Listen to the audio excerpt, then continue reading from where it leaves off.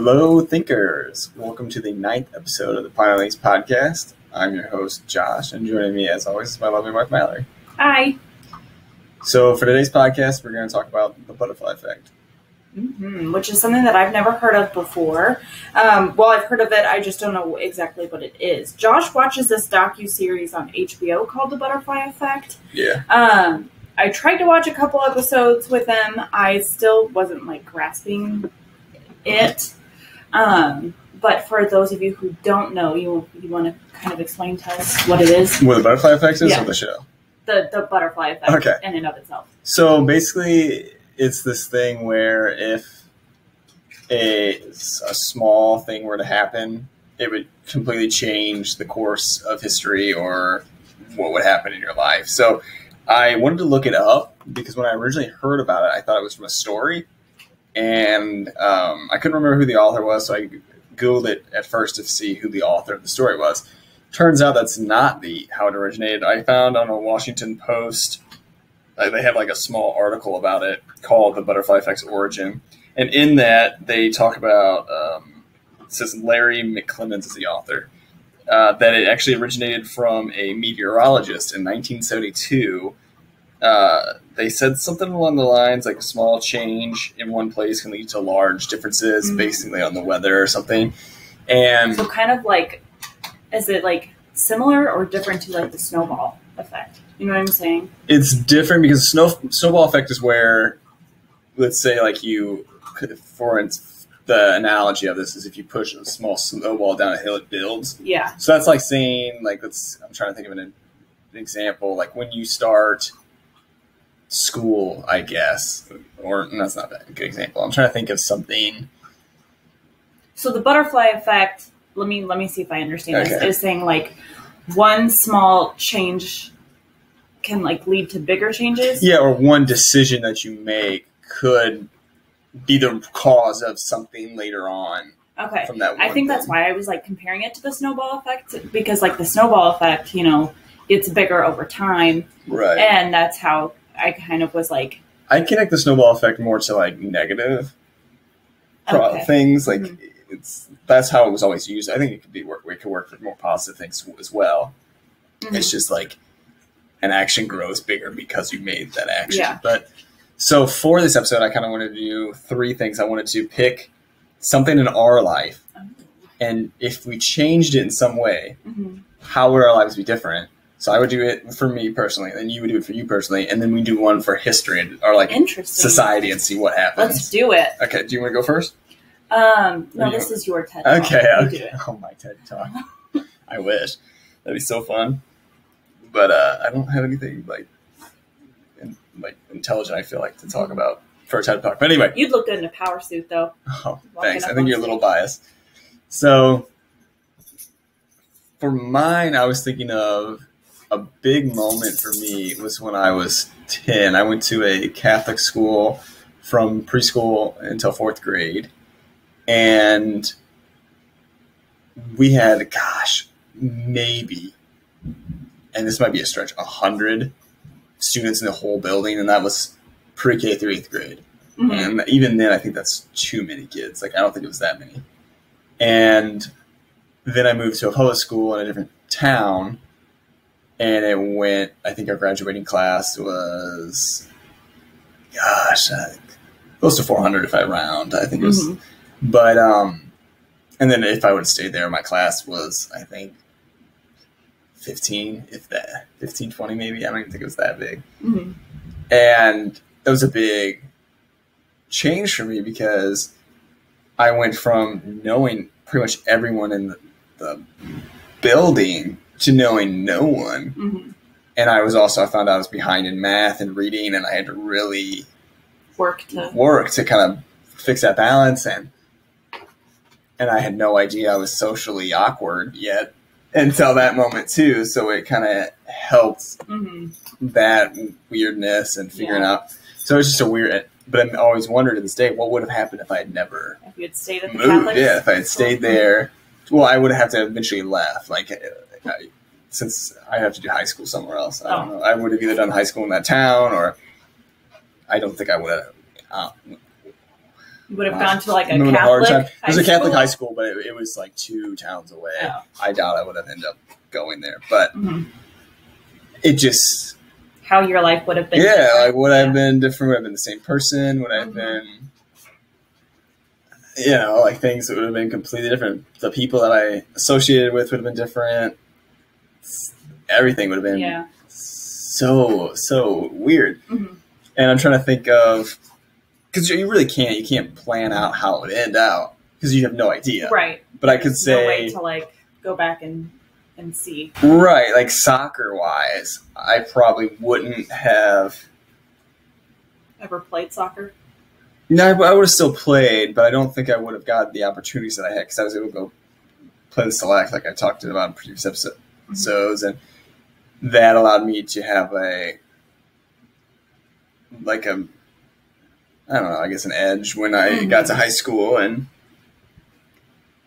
and soccer was a big part of my identity, and because of soccer is what made me go to Greenville, to college, hmm and that's where I met you. hmm So it's like if I had soccer, I guess if we had just taken that out, if I had never played soccer, I probably would have never met you, which is bizarre Yeah. to Mhm. think about. But I think that would be the like I'll take that as my Mhm. butterfly effect. If I, but if I had played another sport and somehow gone to that school, school at the same time, would I still like you know it's just weird how that Yeah. plans out. But what about you? What was your? Um. So when we were talking, it was funny because mine was actually Greenville too. Oh really? Um. Yeah, because you know I went to a community college, um, in the town I grew up in, um, for you know two years or whatever, and um, I transferred to Greenville. However, when I was like applying, I was like, I'm just gonna go wherever I can like get some money or whatever, and um, Greenville actually offered me like one of their highest like transfer scholarships or whatever, and so um, that really kind of like sealed the deal for me going there. But Mhm. if I had not gotten that, I probably would not have gone there. Okay. Um, I probably would have just stayed and gone to like the university that was, you know, In town. in town. And, um, you know, if I hadn't gone there, I wouldn't have met you. I probably would never have gone on to go get my master's degree. Um, so I don't know, like that would have changed a lot of stuff. Not that I'm using my master's degree right now, but, um, topic for another time. Well, yeah, but you know, it kind of fits with this one. That decision to go get that hmm will affect you forever, and how what you decide for your future will some like that will play a part in what you decide to do, Yeah. and so it's I shouldn't say that I'm not using it because Mhm. it was in developmental psychology, and I feel like just having those degrees make me kind of a better person in a sense because Okay. I can kind of relate to people a little bit more, and it really kind of gives me a good kind of base knowledge of like human nature. right? Um, so I shouldn't say that I'm not using it, but is it worth the forty thousand dollars I paid for it? Maybe not, but Yeah. You never know. There That's is the thing. something wrong with our education system. Welcome to our TED Talk, for real, for real. I'm just kidding. But back to the butterfly effect. That is really interesting um, because I think you can do that with like You can do with anything in your yeah life. any decision at all. And I feel like this is why I have trouble making decisions Mhm. um, because I feel like I am kind of a perfectionist and I am an an- anxious person. So when it comes to making decisions, I'm like, well, what if I make the entirely wrong one Mhm. and my life turns out terrible? You know? So you're not thinking of it using it in the sense of looking at your past outcomes and choosing your future. You're thinking of it as like, oh, this could happen. You're more worried about the future aspect yeah. So I typically don't even like think about my past that much. Okay. um, because in my mind I'm like the past is the past, and you know I can But- learn from it, but I can't Mhm. really change it. And so, but I, I am so overly concerned with my future, Uh-huh. and so the butterfly butterfly effect mostly impacts me. I think, you know, because I have these thoughts, and I didn't know that this is kind of what the butterfly effect was about. Mhm. Um, and so I think more than anything, it impacts me presently. Because whenever I am faced with decisions that I have to make in the present, I Okay. continuously think about my future. And then, you know, when I get to that point in the future, I think, well, shoot. So I guess I do think about my past a little bit because then I think, yeah, well, you'd shoot, have to. yeah, because I think, Like, well, you know, Otherwise, you could you'd continue to make the same mistake over. yeah, yeah. So, um, but you know, what I, you know, I think, well, what if I had made this decision? I don't. I think I do a pretty good job of not dwelling on it. Mhm. I more dwell, like I said, when it comes to those decisions, making the right one. Um, but anyway, um, yeah, interesting. Yeah, it's just a weird concept, but now I kind of want to play around and see if if we chose an event in history, hmm how do we think it would change today? Mm. So, do you have one in mind, or should we just like randomly pick one? Or Randomly pick one for me. S- okay, I'm trying to think. Of, so, Independence Day is coming up soon. Okay. What if we didn't win the Revolutionary War, and America was not? Okay. So don't at me. History was like one of my worst subjects. That was. I found it so incredibly Mhm. boring if I'm being completely authentic with you guys. Um, we belonged to we, we were a colony colony before then. for England. Yeah, for England. Yeah, okay, that's what I thought. I did think that. Um, so we'd probably, I don't know though, because I think what we probably would have done is probably licked our wounds for a while and just done it again. Well, and that's done it again. that's interesting because you have to think. Well, England would then know because they're like, okay, well, these people really, They did it once. What's to keep them from doing yeah. it again? But the thing is, I think what would really change the whole thing would be how the rest of America, because we didn't have the U.S. that we have today. You know, it would take Louisiana Purchase and other, you know, uh, things to create what we have today. So it makes you wonder, well, if it didn't go down the path we did, would France have sold us all this money or stole us all this land? Would these other, because there were other colonies at the time, and yeah. We could have been ended up like Canada. Canada That's true. is, you know, Yeah. was a English colony. Yeah. I also think that winning the Revolutionary War gave us a leg up for everybody else because they were like, oh, they won that war. Yeah, but we also had help from the French. Yeah, yes. But I'm saying, like, I feel like, um, you know, the United States of America is seen as kind of um, like this really great country, which I think it has the potential to be. Mm-hmm. However, like, if you see the stats, we're really not as great as other countries. Uh, which, yeah, yeah, yeah. but I think because we have won wars, Mhm. it gives us like a leg up. You know what I mean? In right. terms of like other countries looking at us. at the time for sure too, because Yeah. you have to think like that's our first military conflict, and we win. yeah. You know, I so like you're at a 100 percent win rate, Yeah. and and Alexander, like the Hamilton Mhm. uh, musical, like they talk about how shortly after that French Revolutionary War happened, and they Mhm. asked us to go, and then we decided not to, even though they helped us, which is kind of. I, I mean, it was the right decision because we were, Right, you know, we still Yeah. healing from before, but it is kind of a jerk move. Like, Yeah. thanks for helping.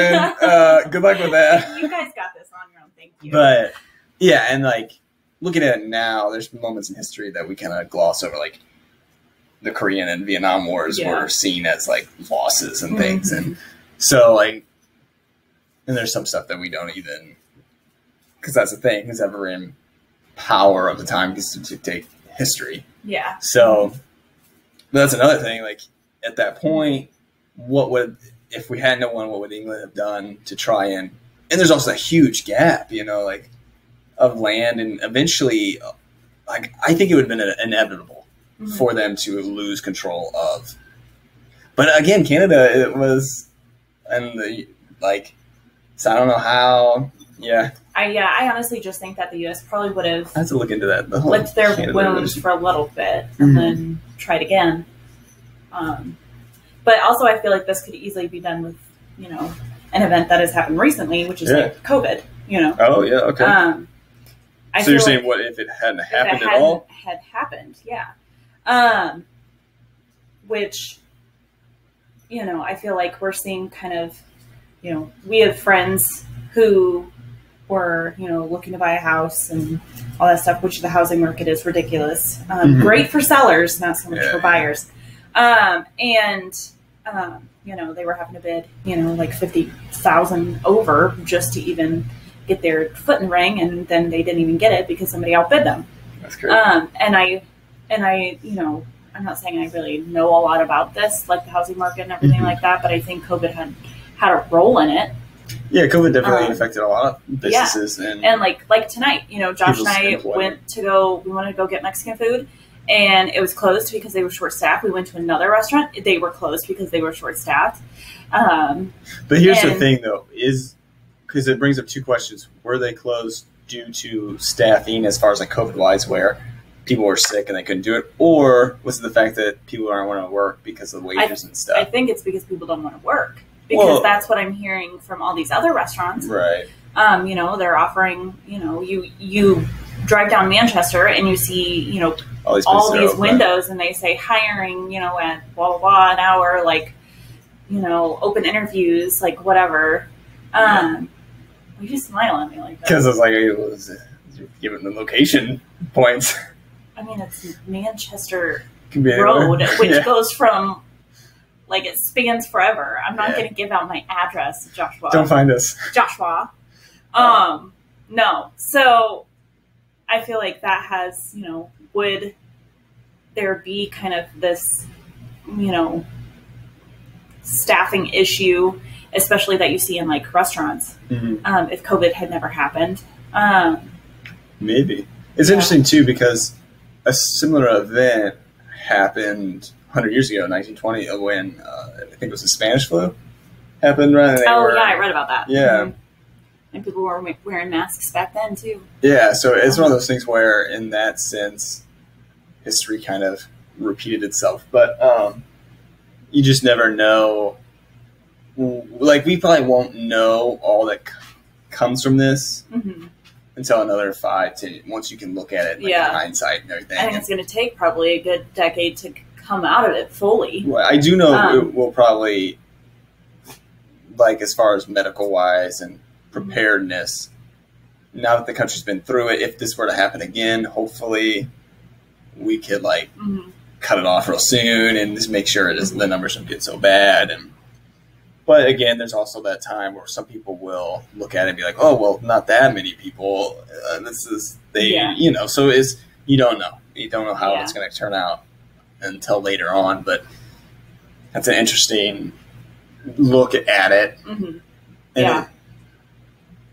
it, it just makes you wonder like, Yeah. what will happen, what decision will happen now that we'll look back on years from now and be like, oh gosh, like what? Why did we even think about it? Yeah. It's kind of like fashion if you think about it. Like you look Oh. back at pictures and be like, why did we ever decide to wear that kind of stuff? You know what I'm saying? Yeah. And that's kind of, and it can be the butterfly effects is a butterfly brooch. Oh my gosh, why? Oh, if I had just God. worn a different brooch. But you never know. Yeah. A different brooch. So I, this is not really a butterfly effect themed, but let's Let's say let's make a event. Let's create our butterfly hmm and predict. Yeah, let's predict the future Okay. based on this event. So right now, um, what's what's big right now besides COVID? I'm trying to think. If there's any technology or Elon Musk. Elon Musk. Okay. No, I'm just kidding. I was just throwing things. Uh, Beyonce. I don't know. I don't know. Names. Um, I was just throwing things out. Elon Musk then Beyonce. That's a weird, I don't know. weird transition. I was just trying to think of like what's popular right now, and Tesla. that's true. That's true. Yeah. Beyonce's always mind. popular. She's been Beyonce- popular forever. I am Beyonce always. So. Um, I'm trying to think what's like super popular right now. Um, well, these COVID shots. You know, people are saying, you know, the COVID vaccines. Like, you know, we, you know, I talk to people who aren't vaccinated, and they say, you know, I am actively choosing not to be vaccinated because I don't know how this is going to impact my body in ten years.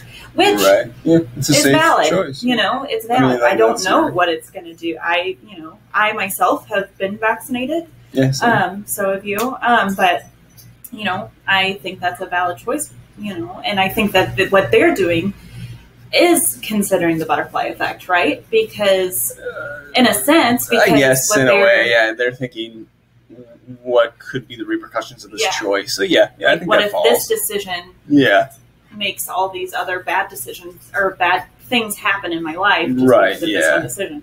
So I feel like not to just bring up COVID again, Yeah. but I mean it just has been such a big politics. something and you know Yeah, big deal in society and in the world even you know lately and so i feel like um, you know that's a good like real world example of the butterfly effect because Yeah. those the you know the people who are actively choosing not to be vaccinated are or are actually cons- choosing. or they- yeah actively choosing because they don't want to get you know covid and right. or they want to lessen their chances, Mhm. or they want to, you know, protect those around them, and you know, I don't know. So, um, I feel like that's that's an example too.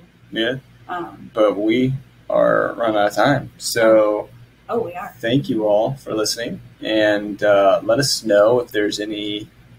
I don't know, events or Topics topic, or- yeah, yeah. topics you want us to talk about, or a butterfly effect that hmm you know, if you enjoy the Yeah. thought of a butterfly effect, or if like in a moment in your life that you think would be an interesting thing, I don't know. But uh, hopefully you're all doing well. Hopefully you have a good week, and until we talk again, Mhm. never stop pondering. Hope you enjoyed our TED talk. Yeah. I'm just kidding. See ya. Bye.